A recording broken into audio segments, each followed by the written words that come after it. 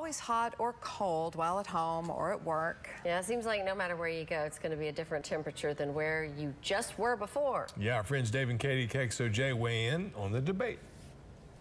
Good morning, everybody. What is the perfect temperature at home or the office? We had a uh, we had a text from one of our listeners. Her name's Lisa. She said at her office it's so hot. How hot is it? Like 74 to 76 degrees, and she can't take it. So she has a little personal air conditioner under her desk to keep her cool because, I mean, she can't wear shorts and tank tops to the office. Right. Well, actually, there are most ladies in my family when they go to like a movie, they bring blankets and they're all. I oh, I'm that girl. I'm You that are? girl. Yeah. Blanket at the movie theater. Yeah. Well, how about this one? My home, I keep it at 61 or 62 year round. Wow. Whoa, that is Okay, I keep it so cold you could hang me. I have blankets at my door. if you're cold, you put a blanket on. So if you could hang meat, maybe you should, you know, and then when people come over, they Maybe can I should grab some bacon on the way in. You know? That is our good friend Sheila. So what is the ideal temperature for you guys? Yeah, we've always heard at the at a studio, a TV studio, it's freezing. Yet Yeah. you ladies, you guys wear sleeveless things a lot.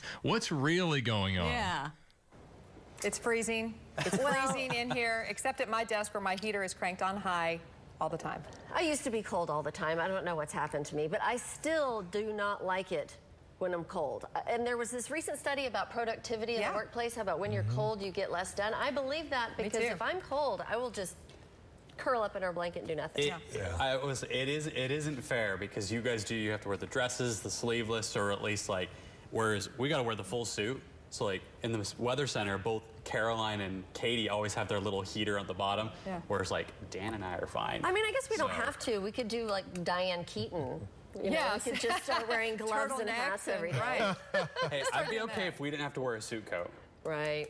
Polos, Polos. for everyone. Polos Let's just for change everyone. the work face. Good idea. I like that. Or just do the weather. Do everything outside. Yeah, Just that wear works. shorts Definitely shorts weather Sandals, today. yes.